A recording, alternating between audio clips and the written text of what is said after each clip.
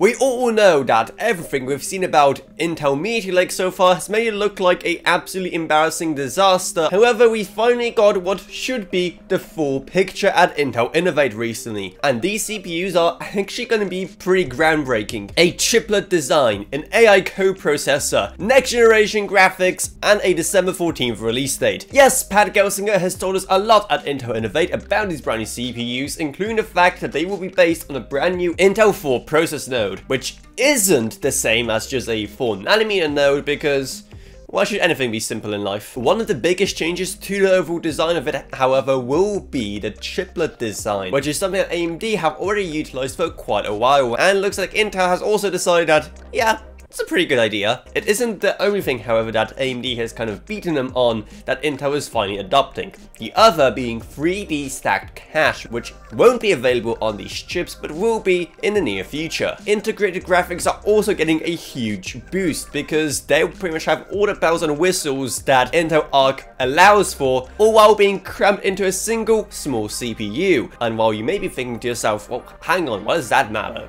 Who's gonna be using integrated graphics on these CPUs?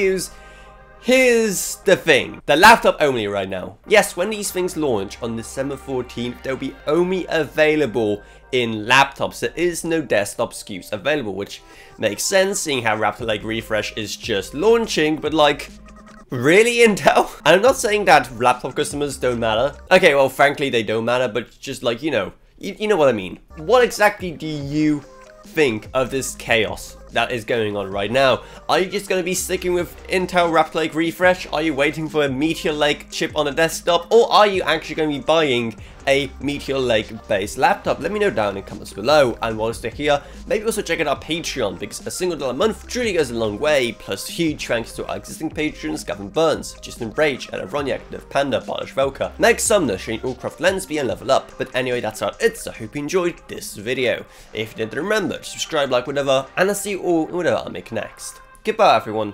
Goodbye.